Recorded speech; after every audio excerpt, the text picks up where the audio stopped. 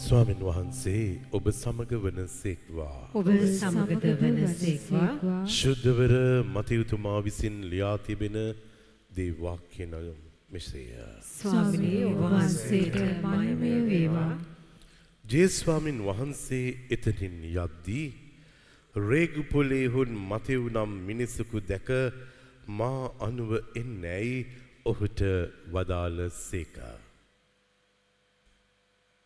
ඔහු නැගිට උන්වහන්සේ අනුව ගියේය. තවද ජේස්වාමින් වහන්සේ ඔහුගේ නිවසේහි වැඩහුන් කල බොහෝ අය කැමියෝද පෞකාරයෝ දවුත් උන්වහන්සේ සහශ්‍රාවකයන් සමග හිඳගත්ත. පරිස්වරු ඒ දැක ඔබේ ඇදුරුතුමා අය කැමියන්ද පෞකාරයම්ද සමග කෑම කන්නේ මන්දැයි උන්වහන්සේගේ ශ්‍රාවකයන්ගෙන් ඇසූහ. උන්වහන්සේ අසාවුන්ට කතාකොට රෝගීන්ට මිස නිරෝගීන්ට වෙදකුගෙන් වැඩක් නැත. මම යාග පූජාවට නොව දයාවට කැමැත්තෙමි යන කීමේ අර්ථය ඔබ ගොස් තේරුම් ගන්න. මා ආයේ දමිටුන් නොව පවිටුන් කැඳවීමටයි වදාළ සේකා. ප්‍රේමේ සුභාරංචිය නම් මෙසේය. ක්‍රිස්තුනී වහන්සේට ප්‍රශංසා වේවා වාඩිවන්න. මා ප්‍රේමවන්ත සහෝදර සහෝදරිනි දරු දැරියනි. ජීවිතේ ඔබ කැමති වෙන්නේ සුබ ආරංචියක් අහගන්නද අසුබ ආරංචියක් අහගන්නද. මේ පොළොවතලේ ජීවත් වෙන අපි ඔක්කොම කැමති ගුඩ් නිවුස් එකක් සුභාරංචියක් අහගන්න ඒක ඔබේ ජීවිතය ඇත්තක් කරගන්න. ඒ නිසා තමයි උදේ පාන්දර කාව හරි දැක්ක ගාම අපි කියන්නේ මොනවද? praise the lord කියලා good morning කියලා කියනවා. good evening කියලා කියනවා. good night කියලා කියනවා. සුබ දවසක් කියලා කියනවා. ආයුබෝවන් කියලා කියනවා. ගොඩක් ආයු ඔබට තියෙන්න ඕනි කියලා අපි කියනවා. ඒ රත්න මේ තාත්ති පුතේ දුවේ නේ එක ඔෆිස් එක වැඩ කරන කෙනෙකුට හැමදාම හැම කෙනාගේම ගුඩ් මෝර්නිං කියන එක ඇහුනොත් එයා කොච්චර සන්තෝෂ වේවිද මම ගේට්ටුවෙන් ඇතුල් වෙන මොහොතේ ඉඳලම හැම කෙනෙක්ම මට ගුඩ් මෝර්නිං කියලා කිව්වා හැබැයි ටික දවසක් යනකොට ඒ ගුඩ් මෝර්නිං එක කීප දෙනෙක් කියන්නේ නැතුව යනවා ඒගොල්ලෝ මූණ දකිනවා අහක බලාගෙන යනවා ඔබට ඒකව රිදෙන්න පටන් ගන්නවා. ඔබ කියන්න පටන් ගන්නවා ඉස්සර මට ගුඩ් මෝර්නිං කියපු අය දැන් මට ගුඩ් මෝර්නිං කියලා කියන්නේ නැහැ. ඉස්සර මාත් එක්ක hina විච්ච අය දැන් මාත් එක්ක hina වෙන්නේ නැහැ. ඉස්සර මාත් එක්ක කතා කරපු අය දැන් මාත් එක්ක කතා කරන්නේ නැහැ. ඉස්සර ඒගොල්ලන්ගේ හොඳ නරක මට කියලා මට ආරාධනා කරපු අය දැන් මට ඔවුන්ගේ හොඳ නරකට ආරාධනා කරන්නේ නැහැ. මාව අතහැරිලා වගේ දැනෙනවා. රත්නම් මේ තාත්ති පුතේ දුවේ මේ විශ්වයේ තුල ඔබ මොන තරම් කෝටිපතියෙක් වෙලා ජීවත් වුණත් ඔබ මොන තරම් නිලතල වලින් බලවත් වෙලා හිටියත් ඔබ මොන තරම් ජීවිතේ නේ ශක්තිමත් පුද්ගලයෙක් වෙලා හිටියත් ඔබේ මේ පුංචි මානසිකත්වය එක තේරුම් ගන්න හරිම අමාරු වෙනවා. එදාට ඔබට රිදෙනවා. එදාට ඔබට දුක හිතෙනවා. එදාට ඔබ කලකිරෙනවා. එදාට ඔබ නේ ඔබටම මැසිවිලි කියා ගන්නවා. ඔබ දෝෂාරෝපණ වලට ලක් වෙනවා. ඔවුන්ට දෝෂාරෝපණ කරනවා. මොනව නිසාද ඔබට හැම දෙයක්ම ජීවිතේ තියෙනවා. හැබැයි ඔබ අවශ්‍ය කරන ඔබ ආස කරන ඔබ කැමති කෙනා දැන් ඔබව අතහරින්න පටන් අරගෙන. එතකොට ඔබ අහනවා ඔබේ සිතින් මොන කාරණාව නිසාද එයා මට මේ විදියට රියැක්ට් කරන්නේ? එයා මත් එක්ක ඝට්ටනයක් ඇති කරගන්නේ මොන කාරණාව නිසාද? ඇයි මං එයාට කිසිම වැරද්දක් කරලා නෑනේ. මේ වැරද්දක් කරපු නැති මට ඇයි ඒගොල්ලෝ එලව එලව ගහන්නේ? මොනුස්සෙක් වශයෙන් ඔබට ඉබේටම ඒක ඇහෙනවා.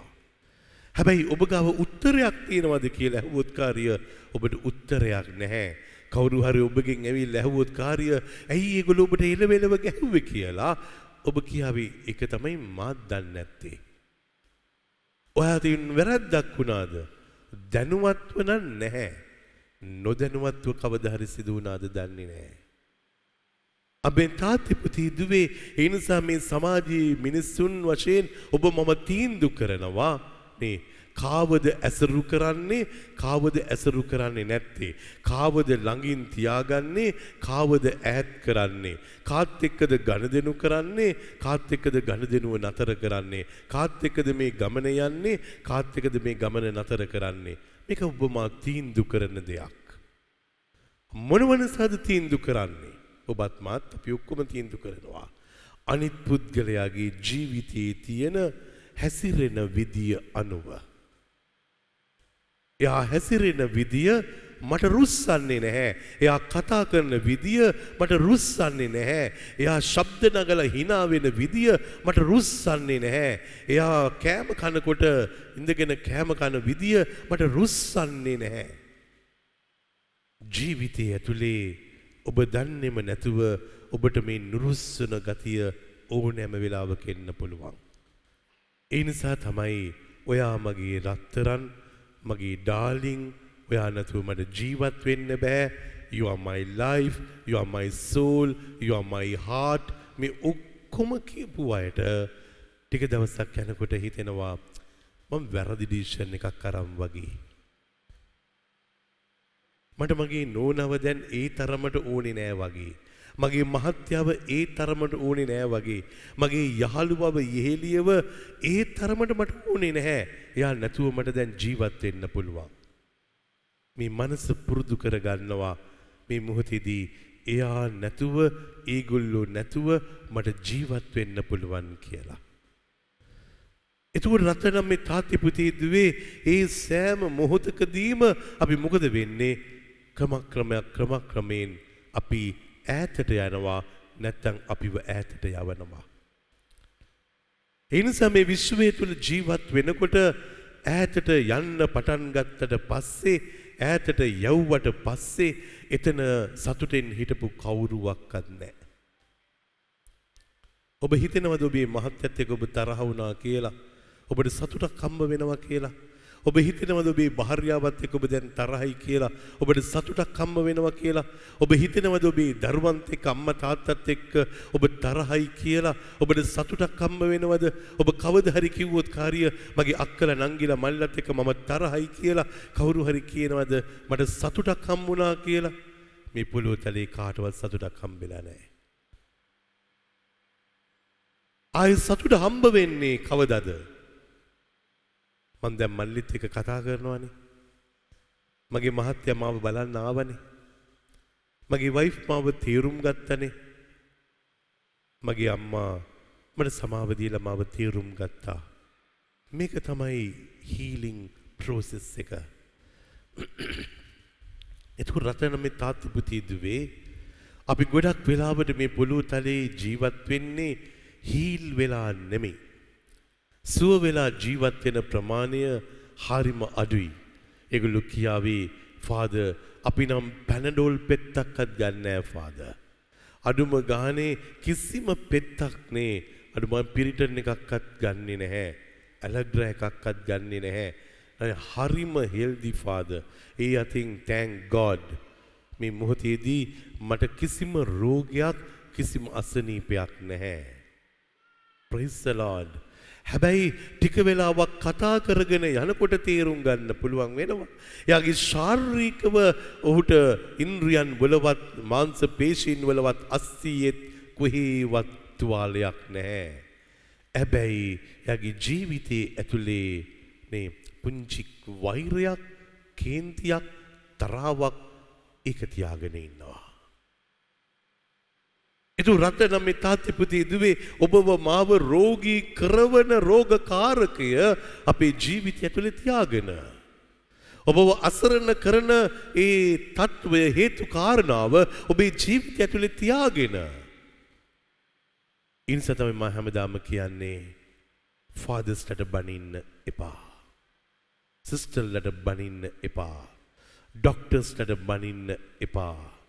ඔබට සේවය කරන කිසිම කෙනෙකුට ඔබ බනින්න එපා. ඔබ ඒගොල්ලන්ත් එක්ක බනින්න පටන් ගත්තට පස්සේ මොකද වෙන්නේ? ඔවුන්ගේ සේවාව ඔබ ලබාවි ඔවුන්ගේ ඇප උපස්සාන ඔබ ලබාවි ඔවුන්ත් එක ගණදෙනුව කරගෙන යාවි හැබැයි ඒ කිසිම ගණදෙනුවක් ඔබේ ජීවිතයට ශාන්තියක් දෙන්නේ නෑ. ශාන්තියක් නෑ. එනිසා තමයි සමහර වෙලාවට රත්නම් මේ තාත්තිපතිදුවේ නේ වැඩිහිටියෝ කියන්නේ වචනයක් කියනවා. පුළුවන් නම් පොඩි උදව්වක් කරන්නකෝ මට මොනවද කරන්නට ඕනේ? මහලු නිවාසයක් හොයලා දෙන්නකෝ. මේ භූමියට කොච්චර අම්මලා එනවද? මේ භූමියට කොච්චර තාත්තලා එනවද? ඒ තාත්තලා අම්මලා ඇවිල්ලා කියන්නේ මට ආයේ ගෙදර යන්න බෑ.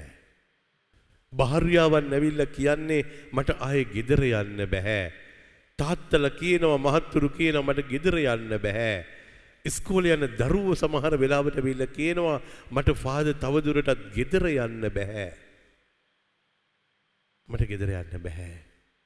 එදු රට නම් මේ තාත්ති පුතේ දුවේ ගෙදර යන්න බෑ කියලා ඒගොල්ලෝ ඉල්ලනවා දෙයක් මොනවද ඉල්ලන්නේ මට කොහේ හරි ගිහිල්ලා ඉන්න තැනක් හදලා දෙන්නකෝ මට මහලු නිවාසයක් හොයලා දෙන්න. මට හෝම් ෆොර් ද එල්ඩර්ස් එකක් හොයලා දෙන්න. නේ නැත්තම් මේ මොහොතේදී මව කොහේ හරි තැනක තියාගන්න. එතු රත්තරන් මේ තාත්ති පුතේ දුවේ ගෙදරට කියලාද ආවේ කියලා මං අහනවා.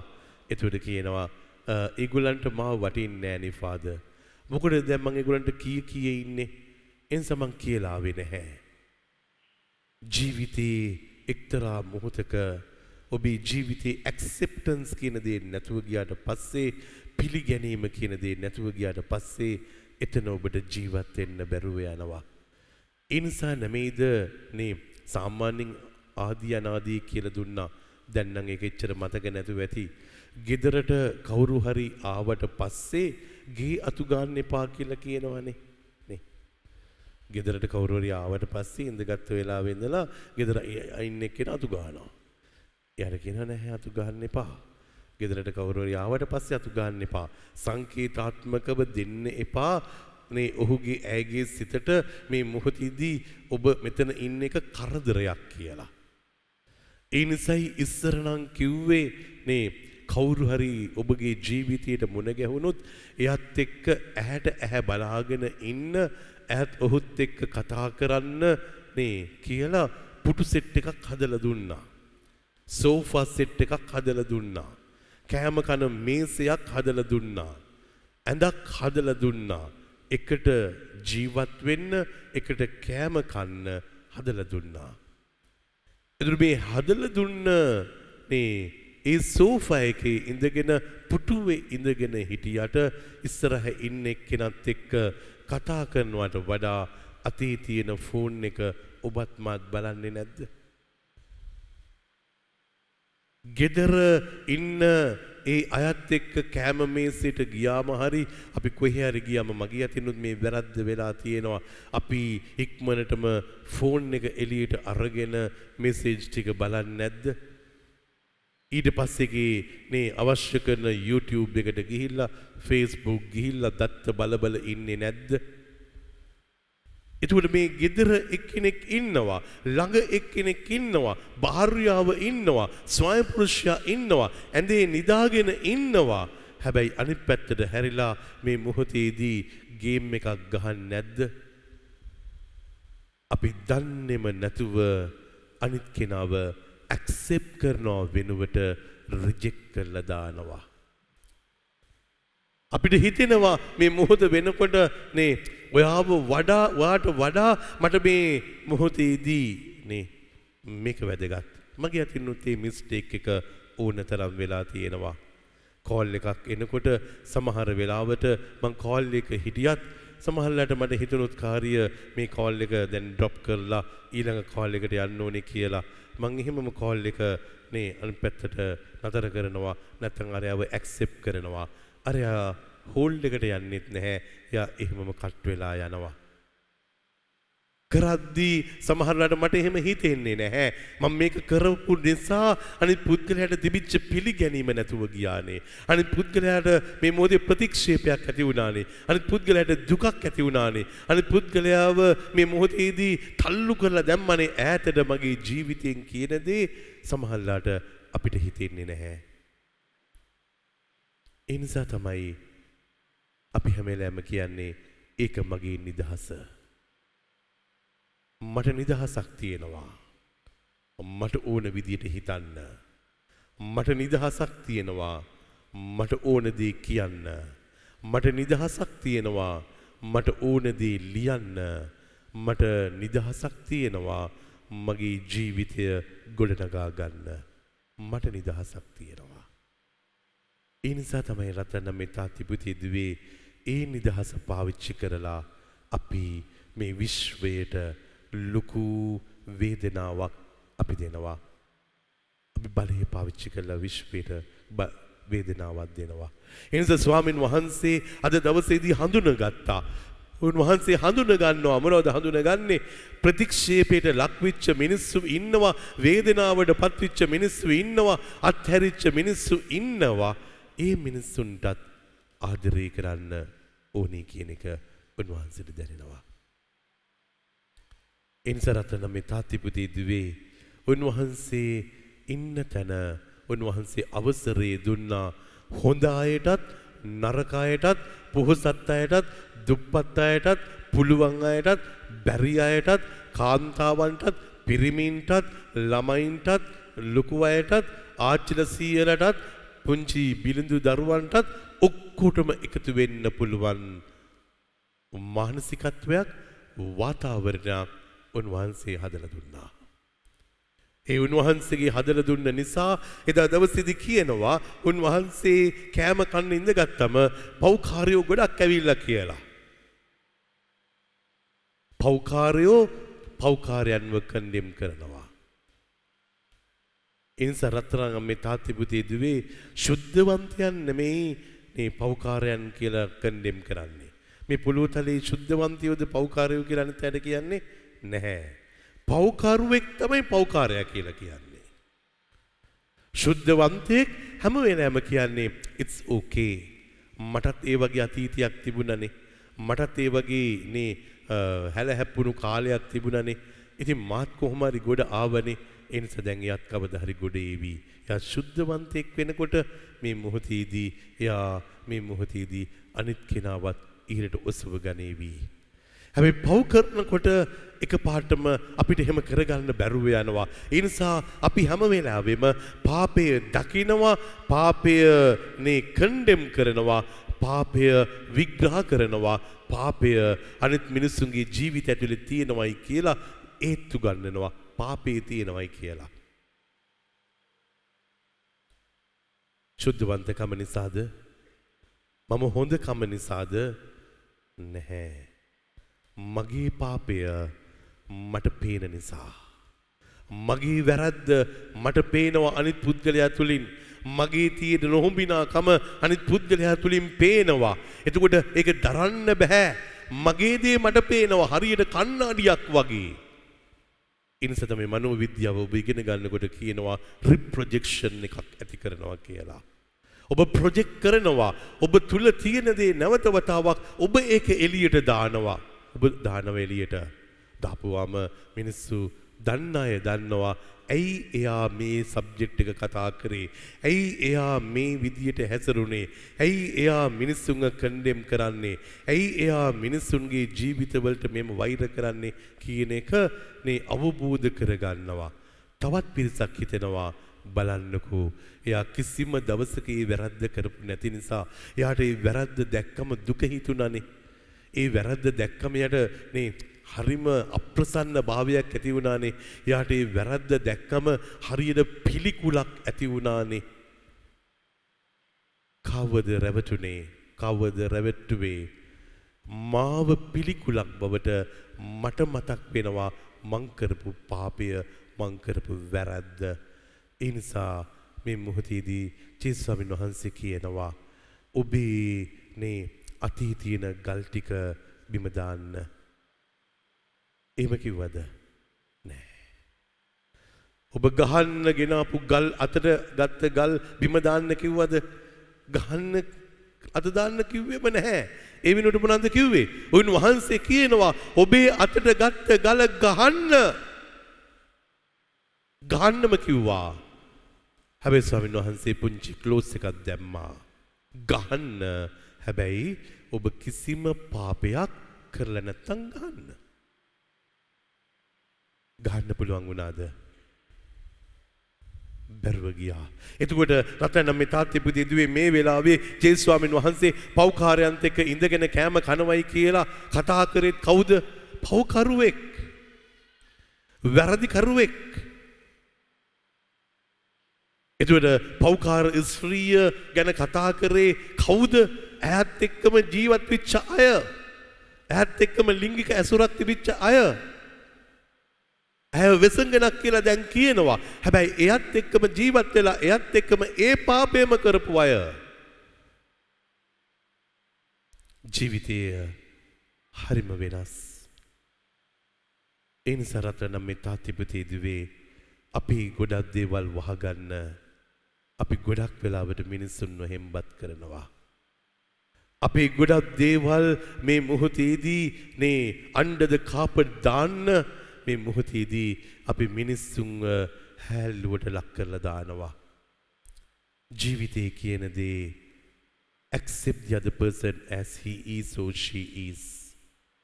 අනිත් පුද්ගලයා ඔබට ඔහු වශයෙන් හෝ ඇය වශයෙන් පිළිගන්න පුළුවන් වුණ දාට එදාට ඔබ ශුද්ධවන්තයෙක් වෙනවා. ඔබ ශුද්ධවන්තයක් වෙනවා. ඒක එච්චර අමාරු කාර්තව්‍යයක් නෙමෙයි. ඔබට මට ශුද්ධවන්තයෙක් වෙන්න ශුද්ධවන්තියක් වෙන්න අමාරු නැහැ. ඇයි ඒ ඔබට මට මේ මොහොත වෙනකොට අනිත් කෙනාව කන්ඩෙම් කරලා දාන්නේ නැතුව අනිත් පුද්ගලයාගේ ඇති සැටියෙන් ඔහු ඇයව බාර ගන්නවා. එතකොට ඔබ කියාවි මනුස්සයන් වශයෙන් රෙද්දක් කරන් හෝදලා හෝදලා මඩේ දැම්මත් ආයිත් එක කිලිටි. ඇත්තයි කිලිටි. හැබැයි ඔබේ ගැන කලබල වෙන්න එපා. ඔබට මට පැවරලා තියෙන රස්සාව ජොබ් එක තමයි වොකේෂන් එක තමයි කිලිටි විච් එක හෝදලා දෙන එක. කිලිටි විච්ච තැනින් නිදහස් කරලා අරින එක එච්චරම තමයි ඔබට මට තියෙන්නේ. හෙට දවස වෙනකොට ආයෙත් කිලිටි වේවි. ඒ නිසා සමහර ඇවිල්ලා කොමිසම් කරන්න ඇවිල්ලා කියනවා ෆාදර් මේ කොමිසම කරලා වැඩක් නෑ ෆාදර්. ඇයි පුතේ කියලා අහපම කියනවා ඒ පාපය මං ආයෙත් කරනවානේ. ඒ වැරද්ද මං ආයෙත් කරනවානේ. ඒ දුර්වලකම තාමත් මගේ ජීවිතේ තියෙනවානේ. කමක් නැහැ කොමිසම් කරන්න. ආය ආයෙ කොමිසම් කරන්න. ඉතින් වැරද්දක් කර කර ආයෙත් කොමිසම් කරන එකේ මොකද්ද ෆාද තියෙන තේරුම කොමිසම් කරන්න කරන්න කරන්න කරන්න ඔබේ ජීවිතේ ඇතුලේ ඒ තිබිච්ච ඒ ඍණාත්මක තැන සූපත් වෙන්න පටන් ගන්නවා. මම දැක්ක එක්තරා දවසක ෆාදර් කලන ප්‍රෝග්‍රෑම් එකක් කරනකොට ඒ ෆාදර් කලන ගාව ගොඩක් බඩු තියෙනවා. මේ ළමයින්ට ප්‍රෝග්‍රෑම් කරනකොට වෙස් මූණුද ඔය ගොඩක් දේවල් තියෙනවා. ඉතින් එක්තරා දවසක වැඩසටහනක මම දැක්කා මේ භූමියේම ලොකු කඹයක් අරගෙන ඇවිල්ලා. ඉතින් මම බැලුවා මාර වැඩේනේ. මොකද දැන් කඹ නේ දෙයියන්ගේ ආදරය ගැන කතා කරන්න කඹ මොකටද කියලා මං හිතුවා. ඉතින් ෆාදර් කලන මොකද කරේ නේ දෙන්නෙක් දෙපැත්තෙන් තිබ්බා. තියලා ඉවර වෙලා ඊට පස්සේ නේ කඹේ දෙපැත්තෙන් අල්ලගන්න කිව්වා. අල්ලගත්තා. උන්වහන්සේ මන්න පියක් වගේ පියක් අරගෙන ඒ කඹේ කැපුවා මැදින්. කපපු ගාම මොකද වුනේ? සෙපරේෂන් එකක් ඇති වුණා වෙන් වුණා. උන්වහන්සේ කියනවා හඳ හොඳයි ඔබ කොමිසමට එනකොට මේ පපුච්චාරණය කරනකොට අපි ওই බිඳුණු සම්බන්ධතාවයේ ආයෙත් මේ මොහොතේදී නේ ආයෙ ලං වෙනවා. ඒක බැඳෙනවා. හිංස උන්වහන්සේ මොකද කරේ? ආයෙත් මේ ලනු දෙක අරගෙන දෙපැත්තේ අර දෙන්න අල්ලගෙන ඉන්නකොට ගැටයක් දානවා. ගැටේ දාපුවාම නේ අර හිටපු සීමාවෙන් තව පොඩ්ඩක් ළඟට එන්න වුණා. මොකද ගැටේට ලනුවට යම්කිසි ප්‍රමාණයක් ගියා. ආයෙ ටික වෙලාවක් ගිහිල්ලා මම බලාගෙන හිටියා ආයෙත් ලනුව කපනවා තවත් තැනකින්. කපපු ගමම්ම ආයෙත් දෙන්නම ඈතට ගියා. ආයෙත් සවිනන්සේ තුල කියනවා නෑ ඔබ කොමිසම් කරනකොට ආයෙත් මේක බැඳෙනවා ආයෙත් බැඳෙනවා ආයෙත් දෙන්නව කිට්ටු කරා කිට්ටු කරලා ඉවර වෙලා ලනුවෙන් බඳිනවා ආයෙත් බැඳ ගාම අර ඉස්සර හිටියටත් වඩා තව පොඩ්ඩක් ලං වෙලා ආයෙත් කැපුවා. කපපු ගාම නේ කිව්වා වැඩක් නෑ. වැඩක් නෑ. කොමිසම් කරලා තීරුමක් නෑ. එකම පාපේ කිව්වා.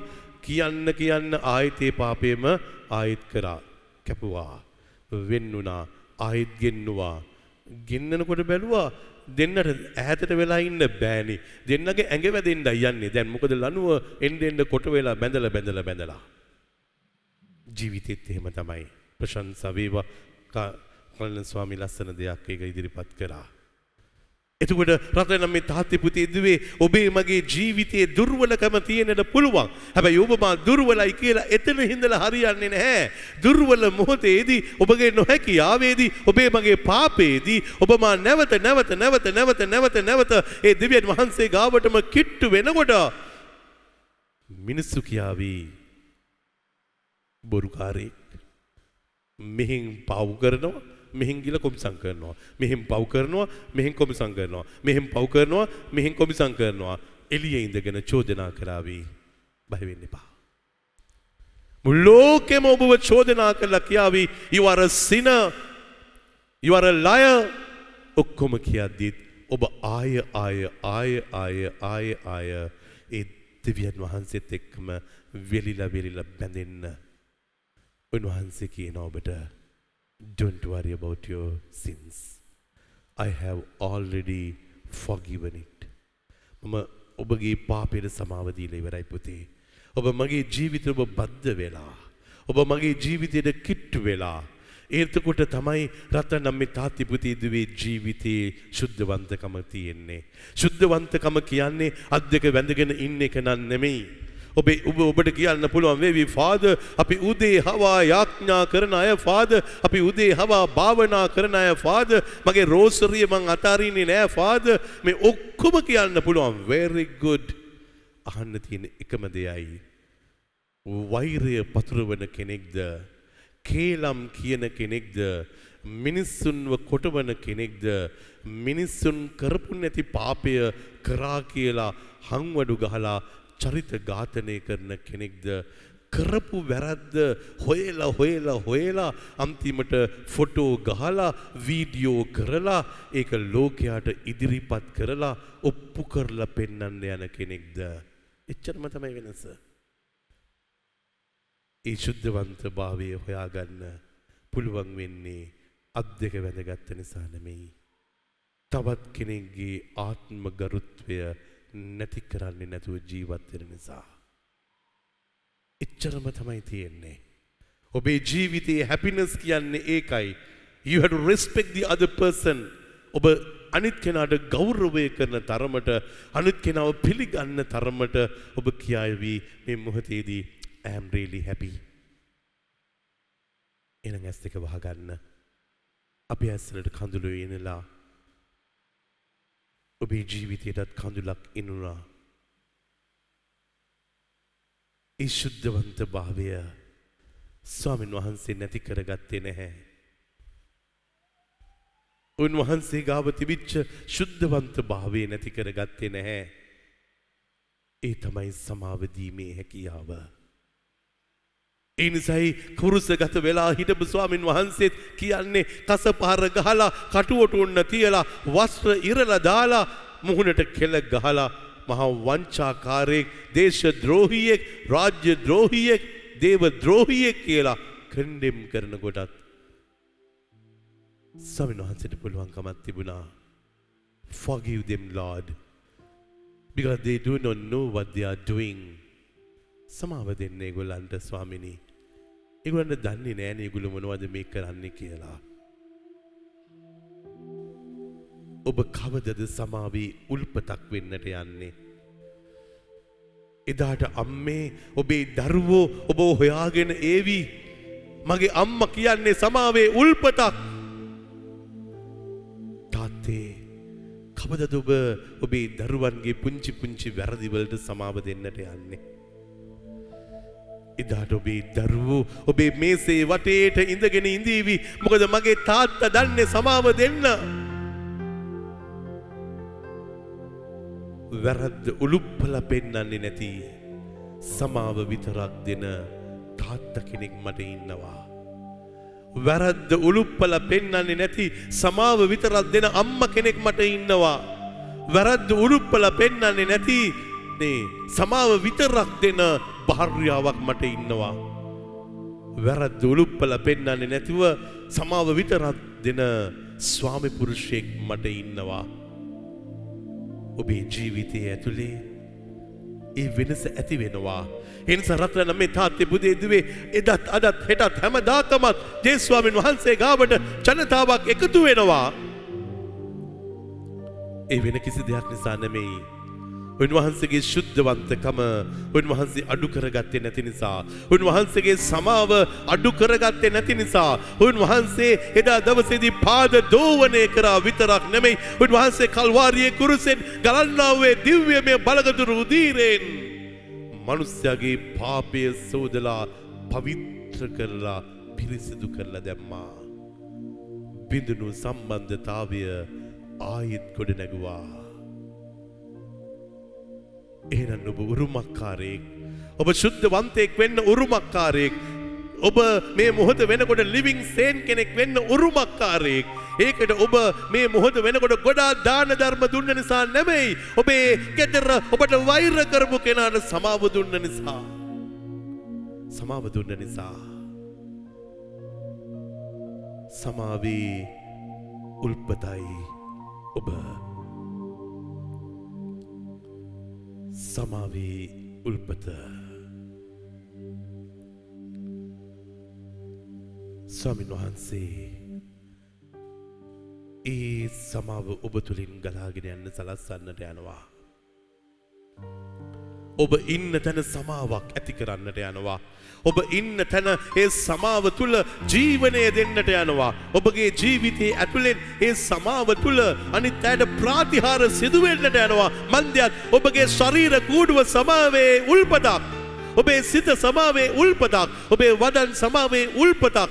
ඔබගේ දෙසවන් සමාවේ උල්පතක් ඔබට පත්වෙනවා. එදාට ඔබගේ චරිතය වෙනස් වෙනවා. ඔබේ හැදියාව වෙනස් වෙනවා. ඔබේ දැක්ම වෙනස් වෙනවා. ඔබ හිතන විදිය වෙනස් වෙනවා. ඔබ පතන විදිය වෙනස් වෙනවා. ඔබ ගණදෙනු කරන විදිය වෙනස් වෙනවා. ඔබේ ජීවිතයේ ඇතුලේ දේවිකත්වයේ මතුවෙන්න පටන් ගන්නවා. මට මතකයි මං නැශනල් සෙමනරියකට ගිය වෙලාවේදී NSC විභාගයට එන්ට්‍රන්ස් එකට ටොපික්ස් කීපයක් තිබුණා. ලියන්න රචනාව. ඒ ටොපික්ස් අතර මගේ ඇහැ ගැටුණු ටොපික් එක තමයි මම මයින සෙමිනරි ඉන්නකොට. Forgiveness is the best revenge. Forgiveness is the best revenge. සමාව තමයි අනිත්යට දරා ගන්න බැරි දඬුවම. ඒක තමයි මම ලිව්වේ අද වගේ මට විග්‍රහ කරන්න දැනුමක් තිබුණේ නැහැ. හැබැයි එදාත් මම හිතුවා සමාව දෙන්න ස්වාමි කෙනෙක් වෙන්න ඕනේ. සුවමෙහෙයක් කරන්න ස්වාමි කෙනෙක් වුණේ නෑ. සුවමෙහෙයක් කරන්න නෙමෙයි මේ ස්වාමි කෙනෙක් වුණේ. දේශනා කරන්න නෙමෙයි ස්වාමි කෙනෙක් වුණේ. මගේ ජීවිතයට මට සමාව දෙන්න පුළුවන් ස්වාමි කෙනෙක් කරන්න. එනම් හිමින් සීරුවේ ඇස් දෙක වහගෙන ඉඩ දෙන්න.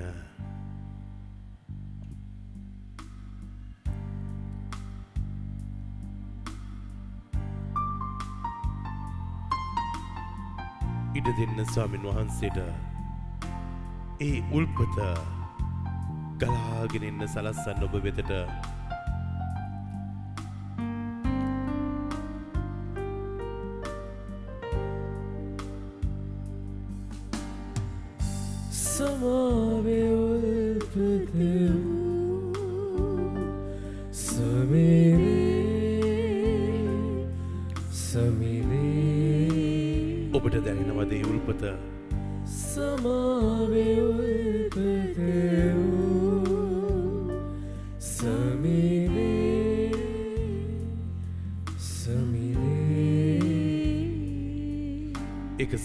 සමාවී උල්පතක්.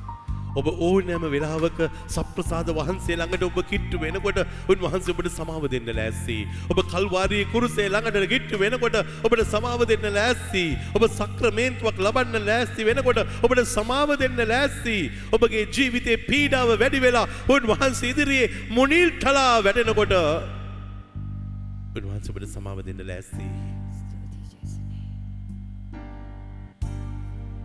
ඔබට සමාව දෙන්න ජෙස්වාමින් වහන්සේට ඕනකමක් තියෙනවාද.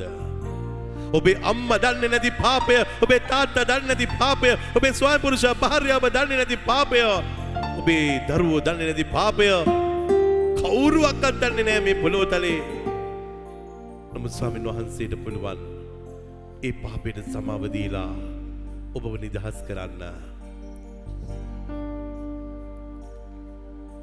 සමාව දීලා නිදහස් කරන්න.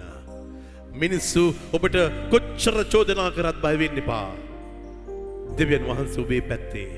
ස්වාමින් වහන්සේ ඔබේ පැත්තේ ඉන්නවා. ඒ නිසා ඔබව පිළිකුල් කරන්නේ නැති දෙවි කෙනෙක් ඔබට ඉන්නවා. ඔබ ගැන අප්‍රසන්න නොවන දෙවි කෙනෙක් ඔබ ගැන ඉන්නවා.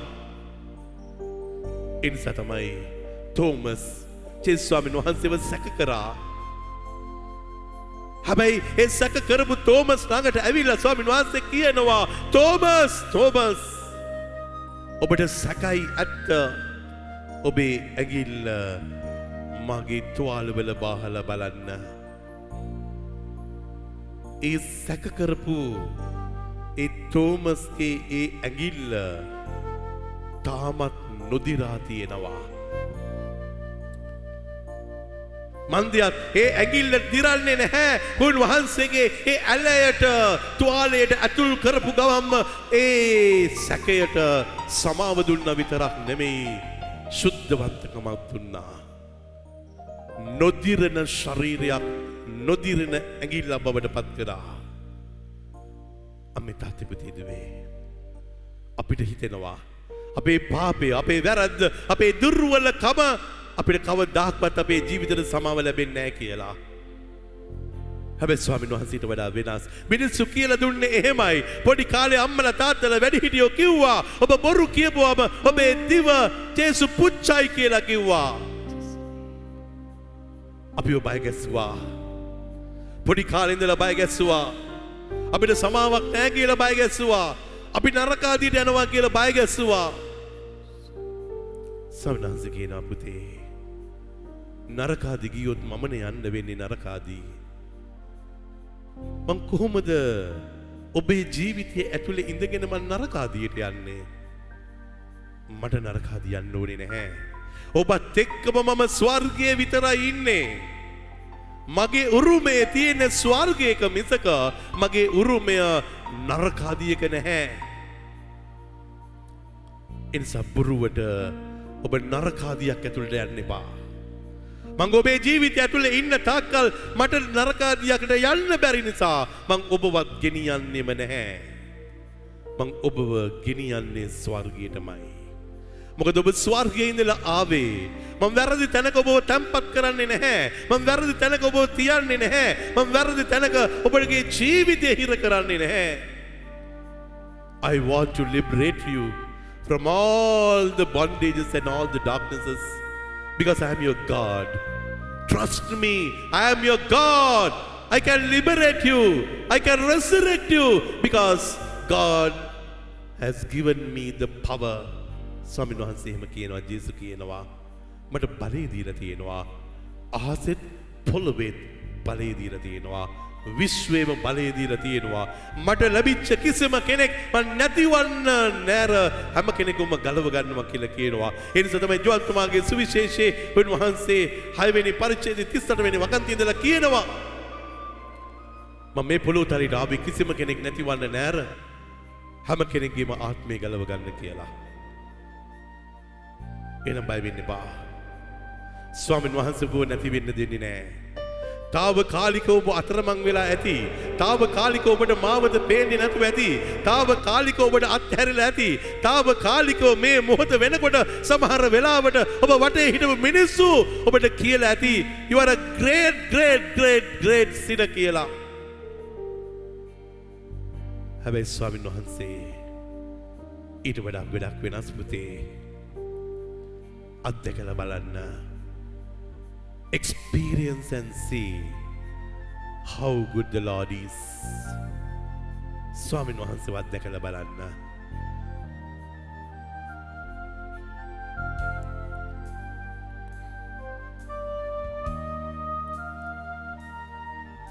ඇස් දෙක වාගෙන කිමු. ඔබ අප වෙත කමා කරනසේ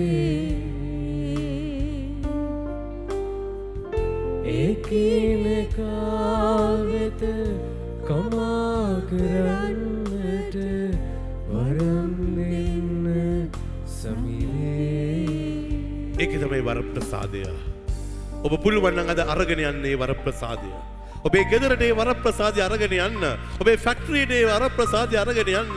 ඔබේ නෑදෑ වෙතට ඔබගේ වරප්‍රසාදය අරගෙන යන්න. ඔබේ යහළු යෙහෙලියන් වෙතට වරප්‍රසාදය අරගෙන යන්න.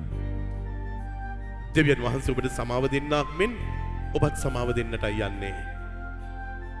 ඔබේ ජීවිතය අද Today is the day. අද ඒ මැට නොයිය එක ඇති වෙනකොට ඒ ආත්මික ඒ වෙනස ඔබේ ජීවිතය ඇතුළේ ස්වාමීන් වහන්සේ ඇති කරනවා. එදාට barriers නැහැ. obstacles නැහැ. You are going to become a living saint. ඔබ living saint කෙනෙක් වෙනකොට you have powers. spiritual powers. එනම් බය වෙන්න එපා. ඔබ හිතන දේ හරියාවේ පතන දේ හරියාවේ ඔබේ ජර්නි එක ස්වාමීන් වහන්සේ තුළ ඔබට සාර්ථක වේවි මන්දයත් ඔබ ලිවිං සේන් කෙනෙක් වෙලයි මේ මොහොත වෙනකොට එකට අත ගහන්නට යන්නේ. ඒ බිස්නස් එකට අත ගහන්නට යන්නේ ලිවිං සේන් කෙනෙක් වෙලා. මුළු ලෝකේ ඉන්න ඔක්කොටම සමාව දීලා ඔබ බිස්නස් එක පටන් අරගෙන බලන්න. ඒ බිස්නස් එක කවදාකවත් කඩාගෙන වැටෙන්නේ නෑ. ඔක්කොටම සමාව දීලා රස්සාව කරලා බලන්න. කවදාක්වත් ඒ රත්සාව ඔබට වදයක් වෙන්නේ නැහැ. මට මතකයි එක්තරා දවසක ගැහණු ළමයෙක් මට කතා කරලා කිව්වා ෆාද මම සෙල්ලම් කරනවා ක්‍රිකට් ගහනවා. හැබැයි මගේ ජීවිතයේ ඇතුලේ මට සමාව දෙන්න බැරි කෝච්ලා කීප දෙනෙක් ඉන්නවා. ඒගොල්ලන්ගේ ෆේවරිසම්ස් තිබුණා. සමහර වෙලාවට මට සෙල්ලම් කරන්න පුළුවන් කියලා මම දන්නවා. හැබැයි මං දැනගෙන හිටියට ඒගොල්ලෝ මගේ ජීවිතය ඒ විදිහට සැලකුවේ නැහැ. ඒ නිසා මං ඒගොල්ලන්ත් එක්ක කේන්තියෙන් ඉන්නවා. මම තරහවකින් ඉන්නවා කියලා කිව්වා. මං ඒ දුවට කතා කරලා කිව්වා. දුවේ ඔබට පුළුවන් දේ කෝච්ලට ඔක්කොටම සමාව දෙන්න.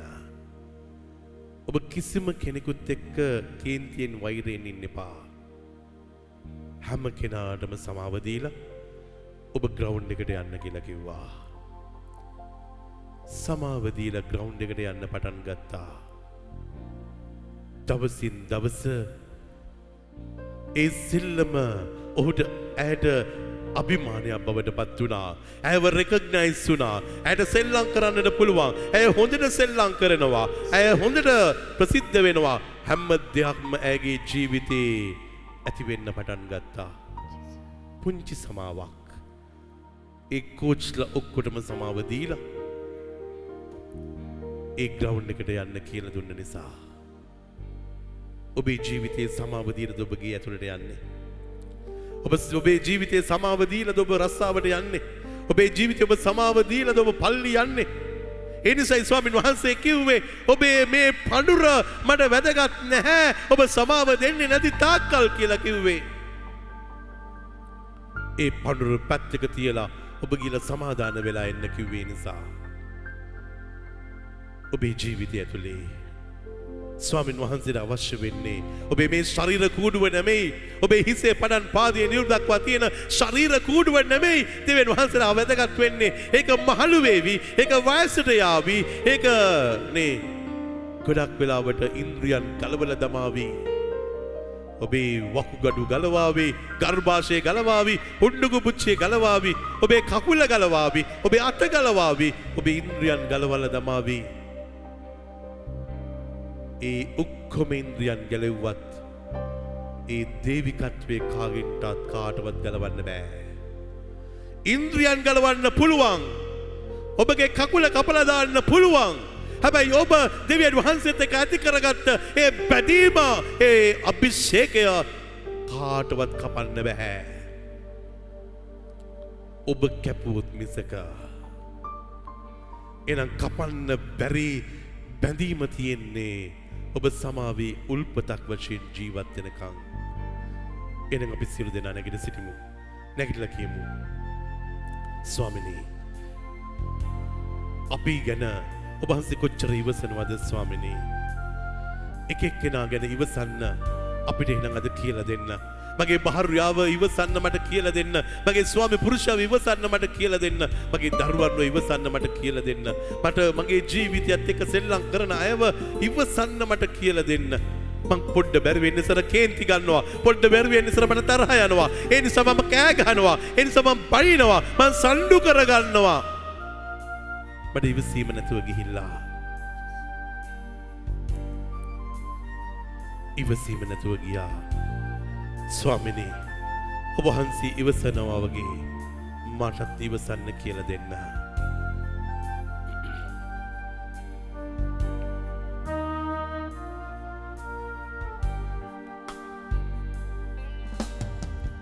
ඔබ අප ගැන ඉවසනාසේ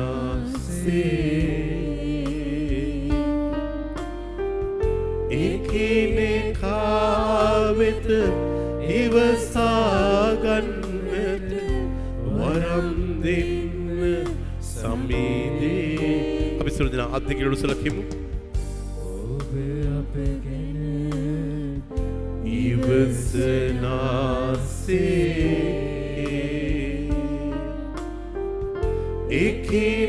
එකිනෙකාවෙත ඉවසාගන්නට වරම් ඒ වරප්‍රසාදය දැන් ඉල්ලන්න. ඔබ යාඥාවට ඇතුල් වෙන්න. අනිත් කෙනාව ඉවසන්න. මේ මොහොතේදී ඒ වරප්‍රසාදය දෙන්න කියලා. අනිත් කෙනාට සමාව දෙන්න පුළුවන්. ඒ වරප්‍රසාදයක් මේ මොහොතේ ඔබට දානය කරන්න කියලා ස්වාමින් වහන්සේ ඉදිරියේ කට ඇරලා ශබ්ද නැගලා ඉල්ලන්න බය නැතුව ඉල්ලන්න විශ්වාසයෙන් ඉල්ලන්න ඒ ඔබගේ ජීවිතය ඇතුලේ ඒ සිදු වෙන්නට යන ඒ වෙනස පුදුම වෙනසක් වේවි. පුදුම බලයක් ඔබ තුල ජීවත් වෙන්නට පටන් ගනීවි. ඒ නිසා ඔබේ ජීවිත අරුදු ගණනාවක් පොද වෙලා තිබිච්ච සිහිනයන් ඒ සියල්ලක්ම සැබෑ වේවි. මන්දියත් ඔබේ ශරීර කූඩුව වෙනස් වෙන්නට යනවා. ඔබේ සිත වෙනස් වෙන්නට යනවා. ඔබේ මානසිකත්වය වෙනස් වෙන්නට ඔබේ ආකල්ප වෙනස් වෙන්නට යනවා. ඔබගේ ආත්මය වෙනස් වෙන්නට යනවා. Holy is your name. Holy is your name lord. Holy is your name එනිසා ඔබ වහන්සේගේ සුද්ධ වූ නාමය ඔබ වහන්සේගේ සුදු රුධීරය මේ මොදේ ගලන්න සලසන්න ස්වාමිනේ. අපව සෝදලා පවිත්‍ර කරන රුධීරයෙන් අපිව නිදහස් කරලා ඒ ඔබ වහන්සේගේ දේවාදරය තුළ සමාවේ උල්පත අපවට අපි එක එක්කෙනාව පත් කරන්න ස්වාමිනේ. මේ මොහොත පත් කරන්න ඔබ වහන්සේගේ දෑතට බාර කරනවා. අපේ ජීවිතවල තිබිච්ච ඒ නුරුස්සන ගතිය ඒ කේන්තිය වෛරය අනිත් කෙනාව හෙලා දැකීම අනිත් කෙනාට බොරු චෝදනා දැමීම මේ සියල්ලක්ම අපේ පාපය වහගන්න ඒ පාපය අනිත් අය කරනවයි කියලා ප්‍රකාශ කරන්න මේ මොහොතේදී අපි මෙච්චර කල් උත්සාහ කරා ස්වාමිනේ. හැබැයි මේ මොහොතේදී වහන්සේගේ දේ වාශිර්වාදය මේ මොහොත අපි වෙතට ගලාගෙන සලස්සවලා අපේ හිසේ පණන් පාදයේ නිමුල් දක්වා දෝවණය කර පරිශුද්ධවත් කරමින් ඔබ වහන්සේගේ දිව්‍යමය සුවේ දානය කරන්න සිත සුවපත් කරලා ගත සුවපත් කරලා ආත්මය පුබුදවලා ඔබ වහන්සේගේ දේ ආදරය තුළ අපගේ ජීවිත සියල්ලක්ම නතු වෙලා සතු වෙලා ජීවත් වෙන්න අවශ්‍ය කරන මාවත් එලිප් එලි කර දෙන්න ස්වාමිනේ. මේ දුව දරුවන් ආශිර්වාද කරන්න ඔවුන්ගේ ජීවිත ආශිර්වාද කරන්න ඔවුන්ගේ ගෙවල් දොරවල් සමාවේ උල්පත බවට පත් කරන්න ඔවුන්ගේ ව්‍යාපාර ආශිර්වාද කරන්න ඔවුන්ගේ ගන්නදෙන ආශිර්වාද කරමින් ඒ සියෑම තැනකම ඔබ වහන්සේගේ දිව්‍යමය අභිෂේකය සමාවේ උල්පත බවට පත් කරලා මේ මොහොත වෙනකොට ඔවුන්ගේ ජීවිත සියල්ලක්ම ඔබ වහන්සේ වෙනස් කරලා බලවත් කරලා ආලේප කරලා ඔබ වහන්සේගේ දේව ආශිර්වාදය තුළ ඔවුන්ගේ ජීවිතයන් මෙහෙවන්න ස්වාමිනේ. නපුරාට අන්ධකාර බලවේගයට කිසිම දවසක මේ දරුවන් යටපත් කරන්න ඉඩ දෙන්න එපා ස්වාමිනේ. සෑම යක්ෂම ඊශ්වා වෛරය ක්‍රෝධය ස්වා ගන්නවා බලතු ලූනියම් ජෝකර ජප කරන සියල්ලක්ම පහ කරන වහන්සේගේ දිව්‍යමය රැකවරණය තුළ මේ දරුවන්ව සතුටු සිතින් ජීවත් වෙන්න අවශ්‍ය කරන මාවක් ඔබ වහන්සේ එලිපෙහෙලි කර දෙමින් ඔබ වහන්සේගේ දේව කරුණාව මේ දරුවන් තුළ ඇත්තක් බවට පත් කරන්න ස්වාමිනී ආලේප කරන්න ස්වාමිනී ආශිර්වාද කරන්න ස්වාමිනී ඔබ වහන්සේගේ දේවිකත්වය තුළ මේ දරුවන්ව සුවපත් කරන්න. මේ කීදේ අපගේ ස්වාමින් වූ අතියුතුම් වූ සමාවේ උල්පතා වන ජේසුක්‍රිස්තු ස්වාමීන් වහන්සේගේ නාමයෙන්ම ඔබටත් මටත් ලැබුණාමයි. ආමේන්.